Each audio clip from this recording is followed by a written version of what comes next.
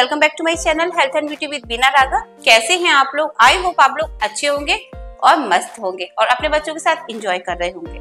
आज हम बात करेंगे स्किन की मतलब एजिंग स्किन की। कहने का मतलब यह है जिनकी स्किन जो है, वो 20 की उम्र में 25 की उम्र में बहुत ज़्यादा लूज दिखाई दे रही है या जिनकी स्किन पर बिल्कुल भी ग्लो नहीं है, उनकी स्किन पर अभी से फाइन लाइन्स दिखाई देने लगी हैं। तो ये सीधी बात है भाई कि चिंता का विषय है। अगर हमारी स्किन उम्र से पहले हमें ऐसा दिखाई देगा कि हमारी स्किन पर बुढ़ापा नज़र आ रहा है तो ये चिंता का विषय तो बनेगा ही ना।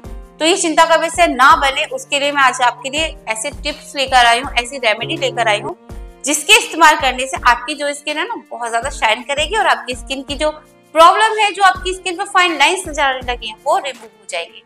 अब ये कैसे होगा? ये होगा जब आप ये रेमेडी देखेंगे और इसे बनाएँगे और अपनी स्किन पर लगाएँगे। जी हाँ क्योंकि ये जो रेमेडी बन रही है, ये भी बन रही है नेचुरल इंग्रेडिएंट से।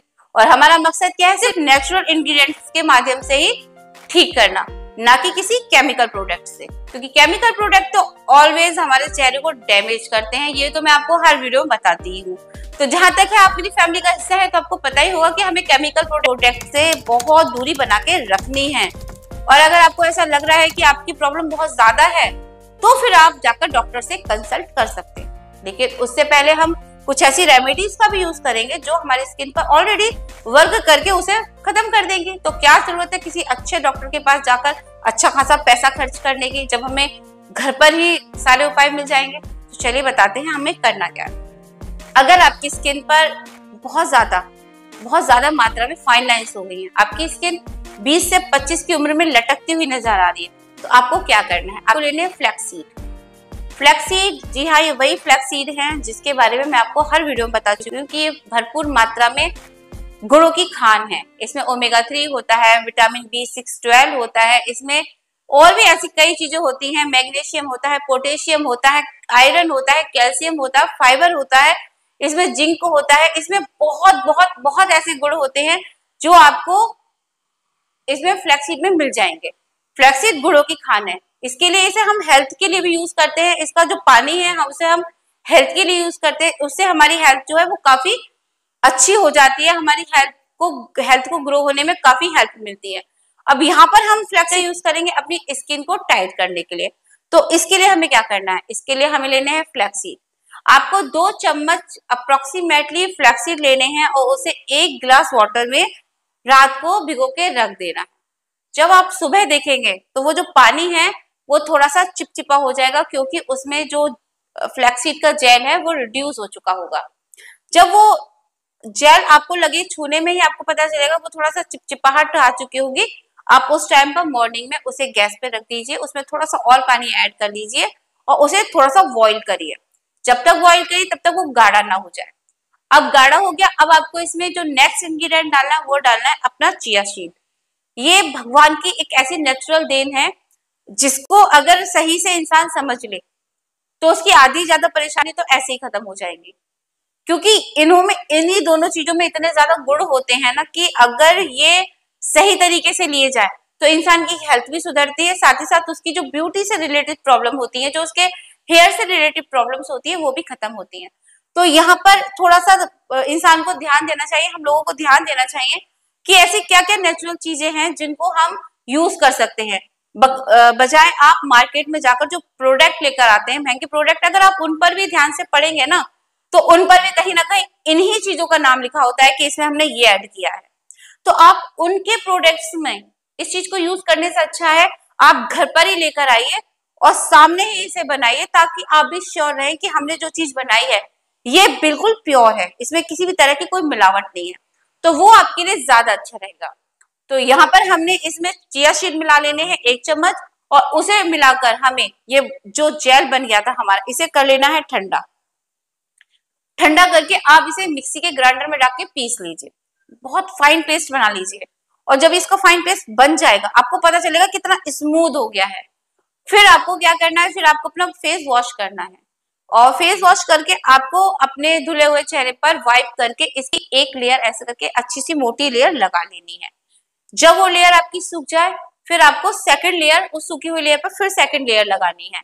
इस तरह से आपसे, आपको जो दो, तीन, चार, पाँच, छह, सात, आठ, नौ, दस, आप टेन लेयर्स तक इसे लगा सकते हैं। कहने का मतलब यह है कि आपको इसे काफ़ी थिक मात्रा में थिक क्वांटिटी में इसे अपने फेस पर लगाना है। आप जब इसे अपने फेस पर लगा लें, उसके बाद आपको कोई वर्क नहीं करना है, आपको अपना फेस जो है, जैसा है वैसा ही रहना देना है।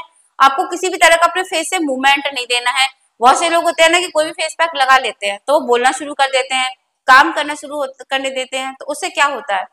उससे होता है कि आप बहुत ज़्यादा काम कर रहे हैं या आप बोल रहे हैं तो आपने जो फेस पैक अपने चेहरे पर लगाया है, वो सूख रहा होता है, आप बोल रहे हैं तो जो लाइंस जो स्किन होती है, वो खिंचती है, और खिंचने की वजह से उसमें जो खिंचाव पड़ता है, उससे भी हमारी स्किन पर लाइंस और ज़्यादा हो जाती है, हमारी स्किन लूज हो जाती है। अगर आपने सख्ती चीज़ है और उसे ढीला करा तो उसमें लाइंस हो जाएँगे ना जैसे कि मान लीजिए कोई सख्त चीज़ है और उसे एकदम से एकदम से ही ढीला छोड़ने के लिए कहा जाए।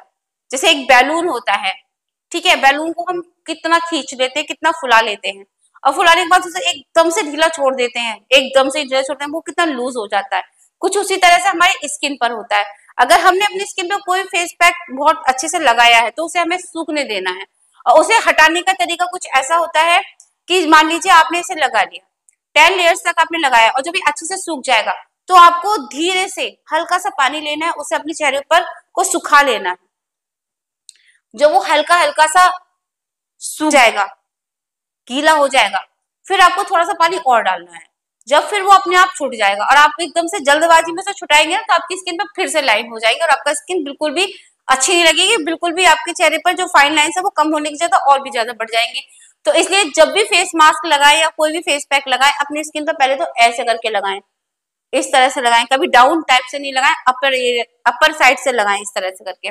और जो स्किन को जब भी वॉश करें तो डायरेक्ट पानी से एकदम से वॉश नहीं करना चाहिए। नॉर्मली धीरे धीरे पानी डालकर इसे छुटाना है। आप इस चीज़ को, इस जो मैंने ये जो रेमेडी बनाई, आप इस रेमेडी को मंथली यूज़ करिए।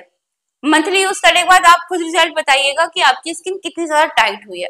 ये जो रेमेडी होती है, ये 18 प्लस से लगा सकते हैं कोई भी लोग।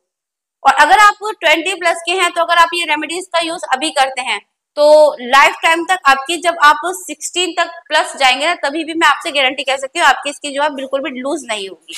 क्योंकि ये आपकी स्किन को बहुत ज़्यादा टाइट रखेगी और जो स्टार्टिंग की चेहरे पर जो हम लोग स्टार्टिंग से ही अपने चेहरे पर जो करना शुरू करते हैं ना केयर करना जो शुरू करते हैं, उसका रिज़ल्ट हमें लास्ट तक दिखाई देता है। तो इसलिए समय रहते ही हमें काम कर लेना चाहिए अपने स्किन के लिए। तो आई होप आपको आज की वीडियो पसंद आई होगी। वीडियो पसंद आई हो तो चैनल को सब्सक्राइब करें वीडियो को लाइक करें। Thanks for watching